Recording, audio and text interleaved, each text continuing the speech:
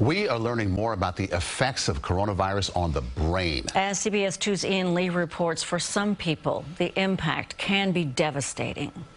As people fight for their lives with extreme cases of COVID, the virus is also damaging their brains in some cases. Cognitive decline that you would see for someone between the ages of about 50 and 70 years. Researchers in the UK discovered that the virus is causing some people to lose their mental capacity, equivalent to aging 20 years.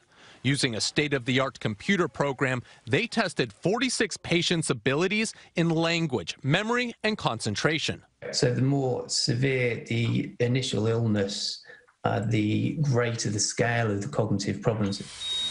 Some theories for why this happens includes a lack of oxygen to the brain along with inflammation, but the effects of aging so quickly can be life-changing. You know, the impact that on your ability to cope with everyday life or your job would be pretty substantial.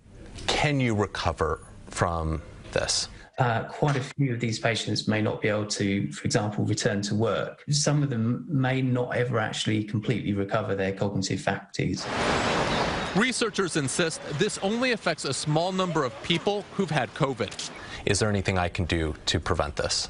Probably the best thing you could do to try and prevent this happening is to make sure you're fully vaccinated. Scientists add vaccines not only reduce the severity of COVID, but also the risks of brain damage. Ian Lee, CBS News, London.